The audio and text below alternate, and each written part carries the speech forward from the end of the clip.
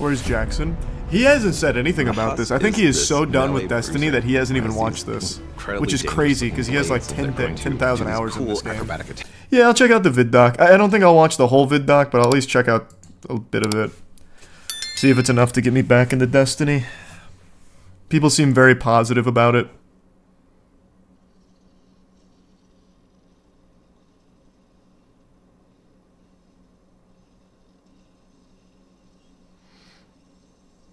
I don't play Hunter, so I don't give a fuck about this here.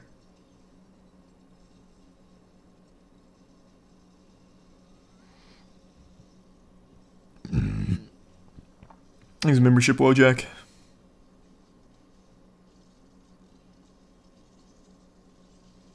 Oh, right, I still have the audio muted. My bad.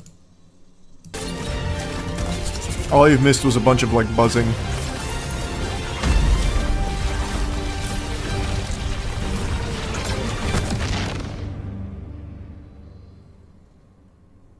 Are going into the pale heart of the traveler and the traveler has chosen you the guardian to be its champion it's Me? empowering us with gifts that we've never really had before One of the concept artists early on created this very evocative image. They combined of all subclasses. A guardian with light armor and dark armor. we're like we really, Really? need Are you exaggerating? in the final shape this is the ultimate form of being a guardian to wield light and darkness at Oh, the yeah. same time Wait.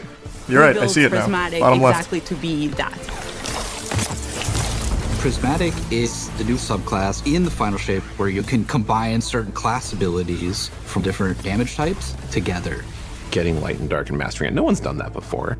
Like the witness is manipulating the energies give like some- this, but give some the witness rough. is not a master of light and dark. You are. The guardian is. Players are.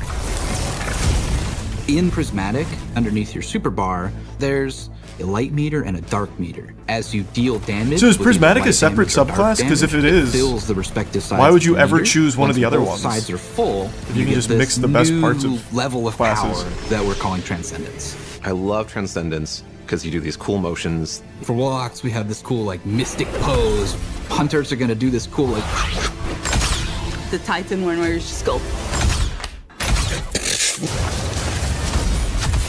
While you're transcendent, you get a new, unique grenade that combines both light and dark together. The hunters get this fire and ice combo. Titans, strand, I mean, th- this does look cool. For the warlock, I like that idea. And void together.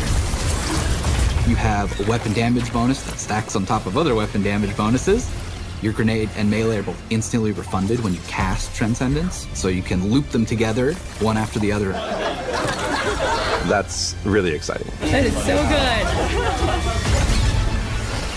We're kind of thinking about Prismatic as this advanced subclass where you have more build crafting options, more potential combinations, more fragments than you normally get, more fragment slots to socket them than you normally get.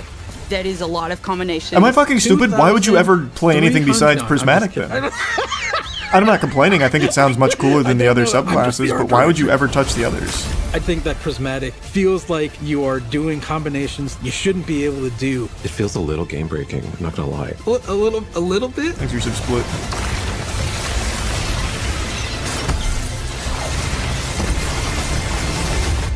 You're gonna be like, oh no, what have I done? I'm gonna be here all night. Thanks for your sub pugs.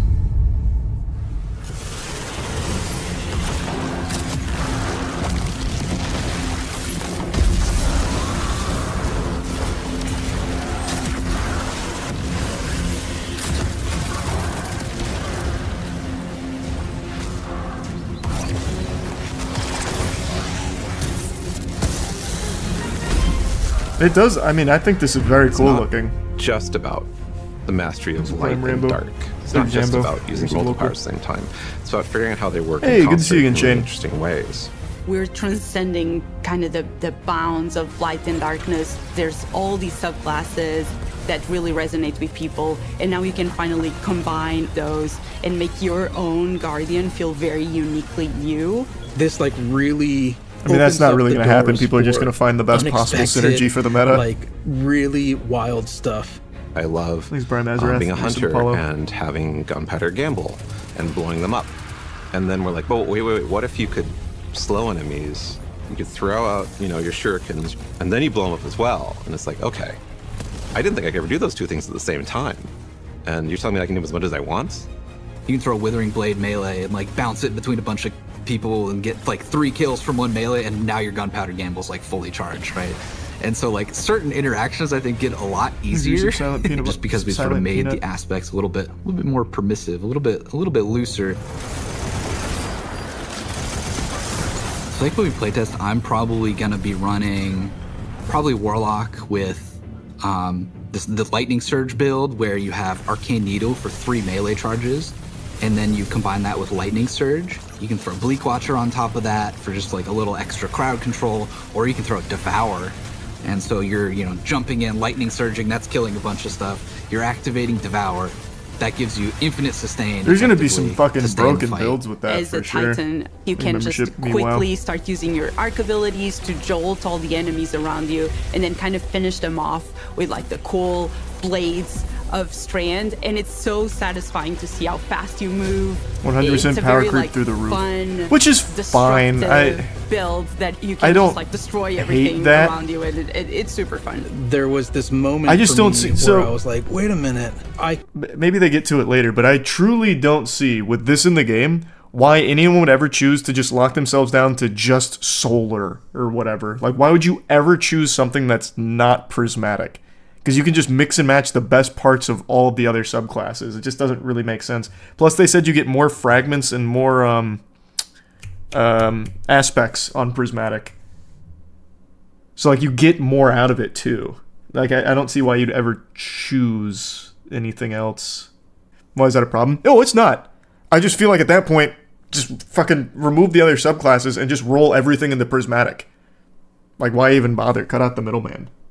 Like I'm not complaining about it. I think it's super hype, but I just feel like there's no reason to have the other subclasses at that point. You probably could have just like rolled it all into prismatic and just called it like this is your final shape as the guardian basically. Like this is your final form to the final shape.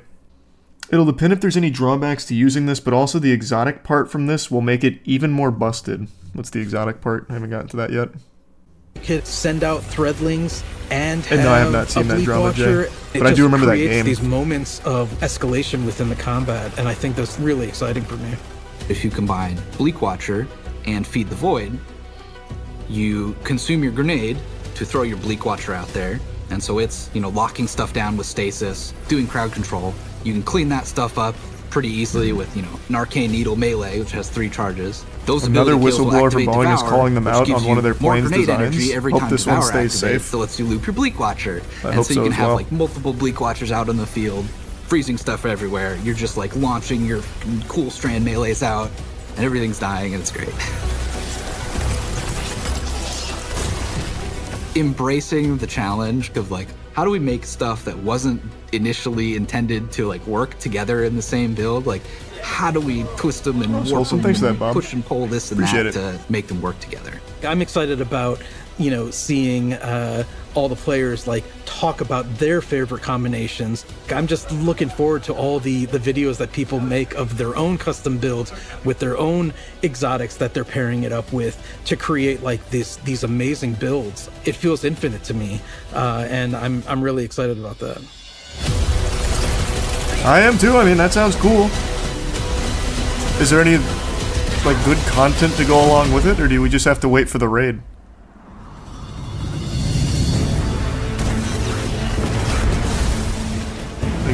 I appreciate it, Melly. And yeah, I just watched the Joker 2 trailer. I have no strong thoughts on it. I don't like musicals, but I really like the first Joker, so I'll give this one a fair shake.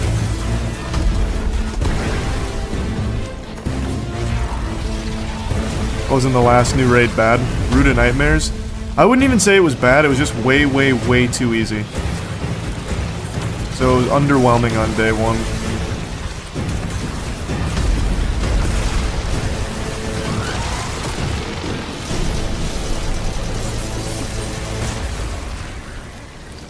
There's a prime team. In the final shape, we're going to be making these new exotic class items.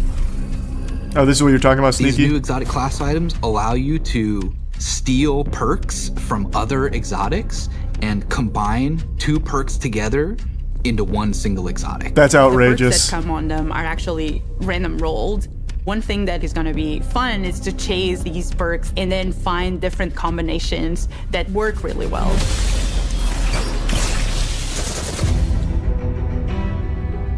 How in the fuck would you possibly These balance class that? items are That's- all that's about ridiculous. and making that feel good. So it's gonna be all about the enhancing I don't travel, your Seth. builds and your combination I'm afraid of flying. light and darkness and achieving transcendence. And And, yeah, what I just talk- I was just talking about that, Connor. They also look so good.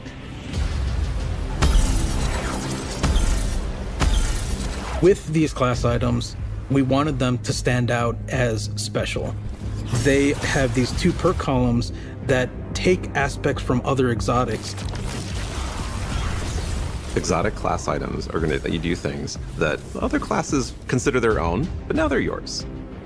I managed to get for my slow 'em down, blow 'em up hunter build a roll on the exotic cloak that made it so powered melee kills caused enemies to ignite, and also I could get an extra dodge charge, so I could do an extra slow charge on enemies at the same time.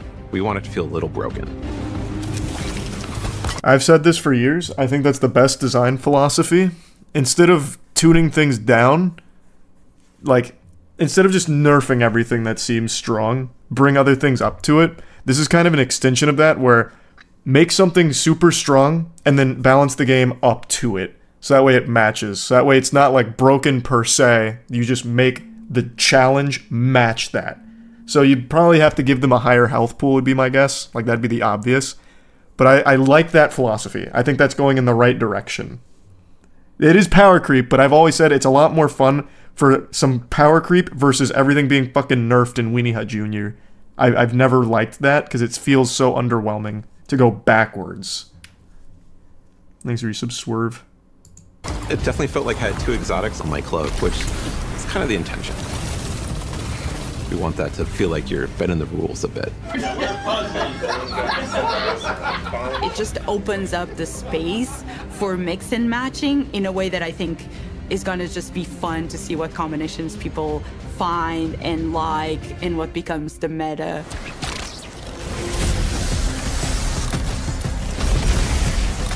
They look amazing. They have visual effects that activate when you are transcendent. It just really ties into this overall theme. But on top of that, the gameplay with basically stealing exotic traits from other exotics and even from classes that aren't you adds this element of spice to them and the fact that it's random rolls you're going to want to keep looking for the right one for your builds That is outrageous. So, I mean, if I was to get back into Destiny, this would be the perfect time because pretty much everything pre this is going to be worthless going forward. At least from the sound of it.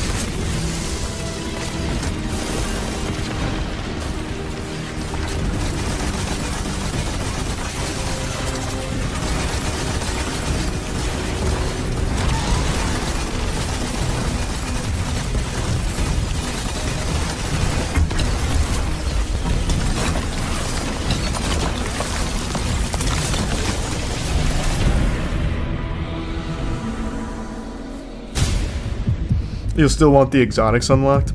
That's true, I Dread guess. Are this new witness faction.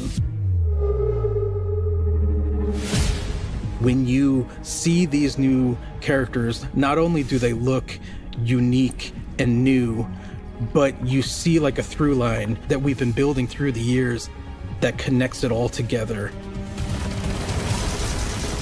And you've seen It's a a cool member of the looking Dread new enemy before. type. You might remember seeing the Tormentor make a big appearance last year.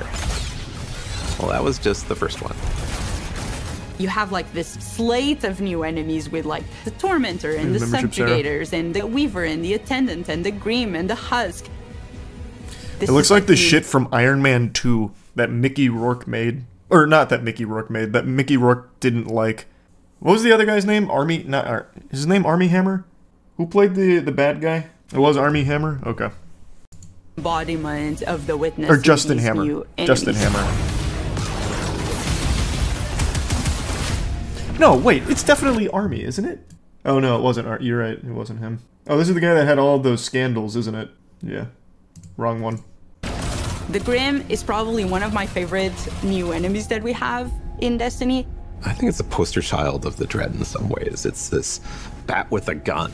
The gun bat, yes, exactly.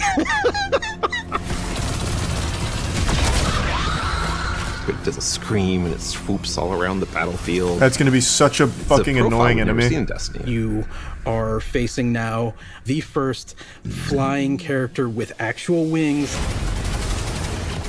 They can screech, and if that hits you, it suppresses your abilities. It also slows you down.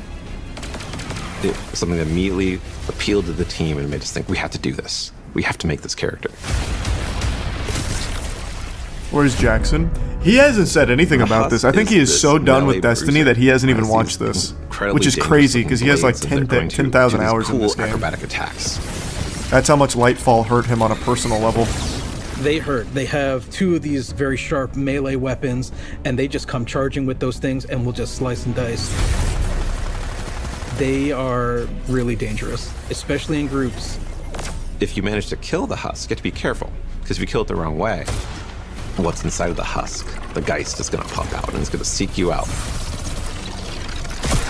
A Geist has killed me, more than I care to admit. Now I'm like looking everywhere every time I go into a fight and I'm like, is there a husk somewhere? Is there a husk somewhere? Because I'm targeting that first. I hope you have a good night, lady. The Weaver and the Attendant are our Strand and Stasis scions that have been reshaped by the Witness we wanted to show like the influence of darkness powers on these characters. They have a stasis ability that can shoot at you that will freeze hey, you. Thanks so much, Guardian. They have a strand ability that will pull you across. Can't on stream, but I can the check it out. That you can get suspended and frozen in place just adds a big new dynamic to the fight. The Weaver does something we've never done before. It'll shoot out this complete powerful strand wave if that thing hits you, it's almost like a rubber band. It like pulls back and like snaps and like pulls you towards that character. As one character doing that to you, yeah, you can handle it. As soon as there's multiple characters trying to pull you in different directions towards you, you have to approach it in a different way. Obligatory physics engine enemy. We're really excited about everything that we've been doing for the final shape. I mean, it fits that though, like, like really with Strand. Cool through line through all. Keep in mind, Strand is the same one that has like the grappling hook that you pull yourself to. So I mean, it fits. We wanted to deliver Guardian. something that's really like fun and exciting and engaging. And probably players. Devil, especially with it this. Is amazing to see this initial inspiration carried all the way through to become a reality in the final shape.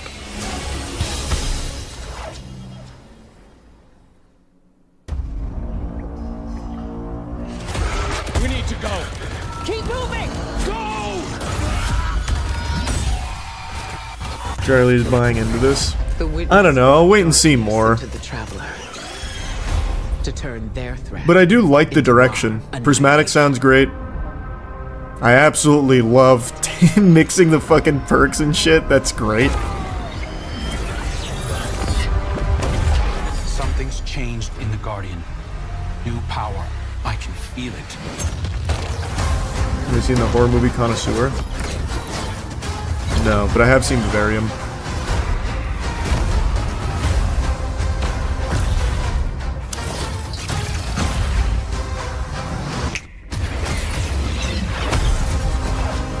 Yeah, that's what I just heard about Buff. Someone was talking about that with Friday the 13th.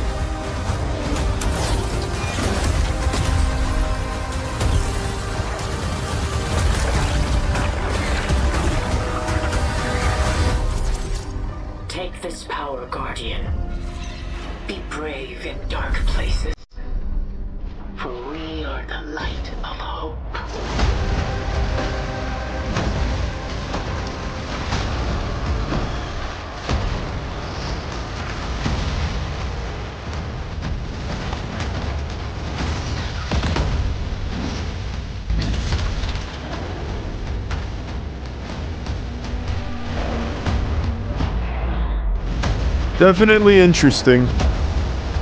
It's got my attention again, which I didn't expect. I thought for sure I wasn't going to bother with Final Shape. But I'll wait to see a little bit more from it. I do like some of the ideas there.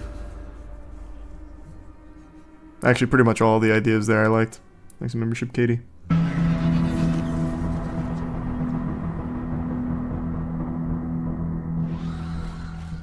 Flesh and Blood seems cool. I As might play that at some point. Approaches, and the forces of the Witness surge at the borders of the city. Lord Shaxx has been authorized by the Vanguard to place an arsenal of banned weapons. Oh, that's that. That's what I just saw.